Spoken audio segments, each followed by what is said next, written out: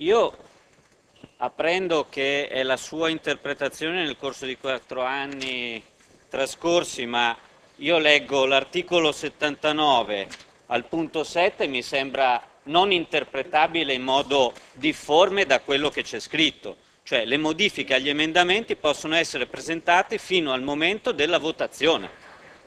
Cioè, non è che, che, che ci si può arrampicare, quindi se il collega Mezzi ha un subemendamento da presentare, lo può presentare, verrà discusso, votato, accolto o non accolto, come, come, è giusto e normale che sia.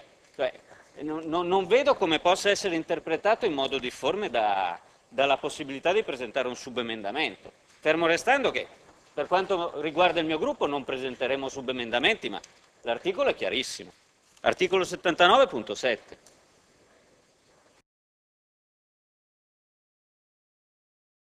Sarò abbastanza breve perché hanno già detto i colleghi. Io voglio solo sottolineare che a nostro modesto parere questo emendamento va a dimezzare il potere del PTCP nel, nel suo insieme, perché va a, di fatto a, a, a togliere delle prerogative che dovrebbero essere del PTCP, le va a ridurre perché va a dare l'opportunità ai comuni di andare a dire che quello che secondo il PTCP è eh, una previsione prescrittiva di fatto non è perché subiudice di, di quella che è la volontà del, del singolo comune.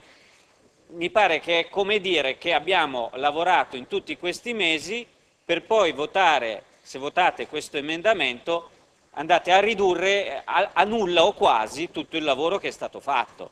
Io rimango veramente perplesso, mi auguravo che la modifica che proponeva il collega Mezzi, che lo si voglia chiamare subemendamento o modifica, venisse presa in considerazione perché quantomeno andava a dare un senso al PTCP nel suo insieme, perché con questo emendamento per me abbiamo finito di, di lavorare, non ha più senso. Votatevelo. Grazie.